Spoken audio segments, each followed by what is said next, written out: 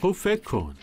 اول رناتو از ملاقات با آنچیتا فرار می‌کنه و تو آخرین لحظه از شامی که برنامه ریزی شده بود هم در میره و بعدش چیکار می‌کنه؟ یهو پیداش میشه و تصمیم قرار با اون شرکت و زیر سوال می‌بره. مشکوک منظور چی؟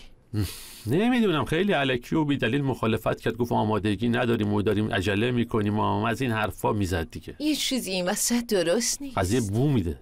وقتی تو گوشی عکس رناتو رو با آنچیتا نشون دادم باید قیافش رو می‌دیدی. نه تنها تاکید کرد شبیه کارمند قدیمیشه بلکه بلکه گفت که این خیلی شبیه چی می‌دونم باید با راننده برم. برای چی؟ کجا میری؟ نمی‌دونم جاش مهم نیست فقط باید یکم باهاش وقت بگذرونم تولیو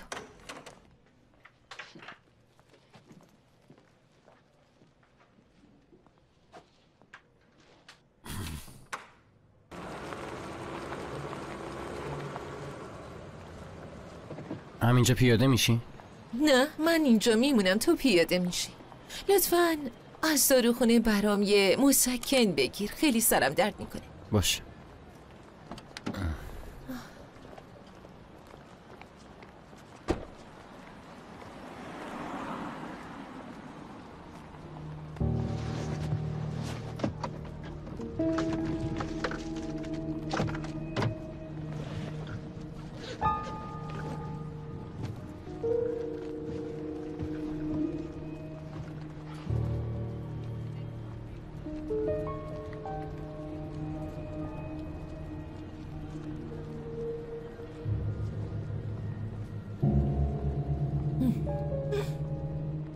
باورم نمیشه. واقعا تو کیفش بود. صبر کن تا اونجا که من می‌دونم رناتو رو به فرزندی گرفتن و اون یه برادر دو قلو داشته که به محض به دنیا اومدن مرده.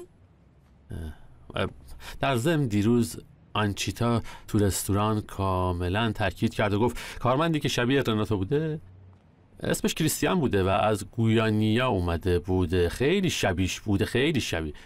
خودش هم کف کرد. درسته و راوی هم از گویانی اومده خودش بهم گفت یادته. دقیقا. حالا خوب گوش کن چی میگم.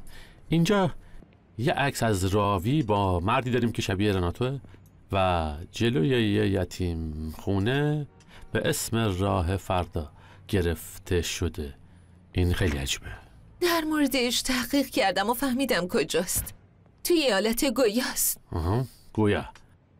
پس این مردی که تو عکس هستش باید کریستیان باشه همونی که آنچیتا دربارش حرف می‌زد.